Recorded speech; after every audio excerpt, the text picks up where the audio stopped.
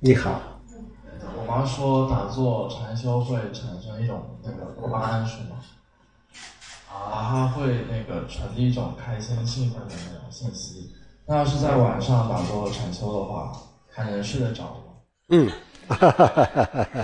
是 是是，呃，禅修。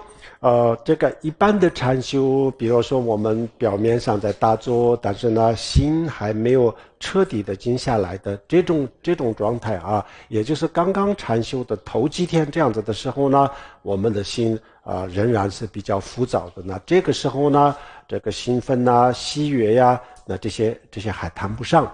啊，但是呢，通过这个禅修啊，我们的心就是完全沉淀下来了。如果真正能够达到一个比较平静的状态的时候呢，那这个时候是确实是有一个啊这样子的喜悦。那这个在佛教里面呢，这叫做禅悦啊，禅定所带来的这个喜悦。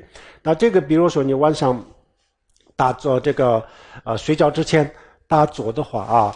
确实有有些人呢，就是晚上打坐的时候呢，有些时候就有一点点睡不着的，有有有这样子的情况。但是绝大多数的人，尤其是失眠的人啊，失眠的人呢，对这个禅定是特别特别有帮助啊。他为什么有帮助呢？因为失眠的人呢，他开始这个睡觉的时候啊，呃，开始准备睡觉的时候就开始就是怕害怕，产生一种恐惧啊。这个恐惧是怕他睡不着啊。然后呢，这个越想越想不开，越想越恐惧。这一个，另外一个，有些人就是睡觉的时候呢，还没睡着之前，就就准备睡的时候，就有太多太多的想法，胡思乱想啊。然后就是越想越兴奋，越想越兴奋，这个睡不着。那对这种人来说，这个禅修是特别特别有帮助，因为他这个禅修呢，就他把他的所有的这个注意力啊，就是专注在一个上面啊，全部注意力专注一个是。焦点，这样以后呢，他就不会有太多的这个思考思考啊，比较注意力比较能够比较集中。那这个是对他的这个睡眠是有非常非常好的帮助啊，非常好的帮助。呃，总的来说啊，晚上这个睡觉的时候呢，禅修虽然是兴奋，但但是这种兴奋呢，我们跟其他的不太一样，所以呢，不会。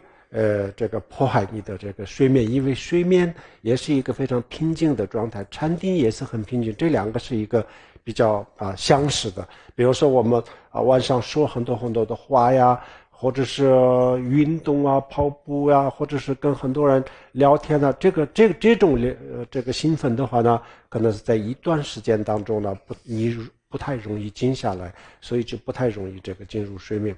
但是禅修跟这个有点不一样。啊，还是对对这个睡眠是有很大的帮助。